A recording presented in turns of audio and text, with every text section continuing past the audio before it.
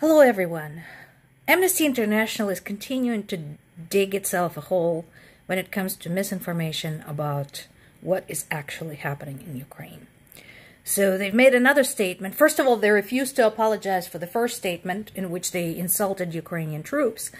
And then they released another statement in which they talked about supposedly Ukrainian generals uh, peddling the foreign weapons that are being supplied to Ukrainian um, war effort on the black market.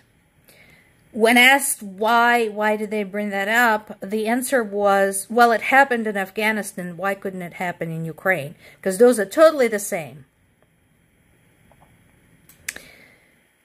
Aside from the fact that there's a war on, and logistics and tracking is difficult. Aside from the fact that a lot of the ammo specifically that is delivered to Ukraine gets used up almost immediately.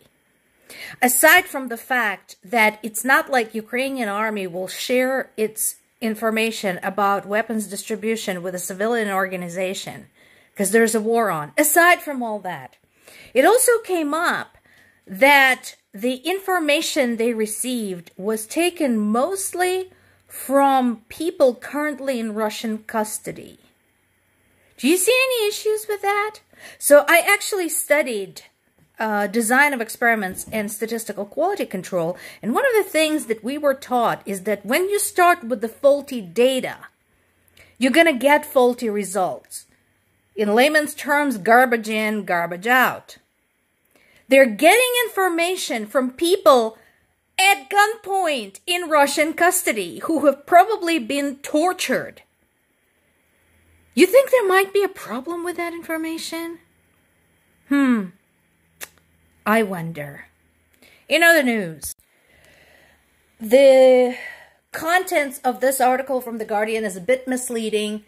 Zaporizhia, the regional center of the Zaporizhia region, has not been taken. It is not occupied.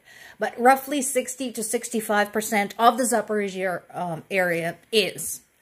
And Russians are already slicing and dicing it like they own it. So, you know, that that is going on. And again, the world just looks on.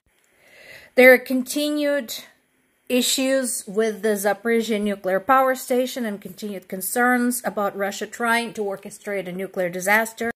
Since only Ukrainian personnel is left there and is not allowed to leave, it is very likely that if something goes boom there, Russia will blame Ukrainians.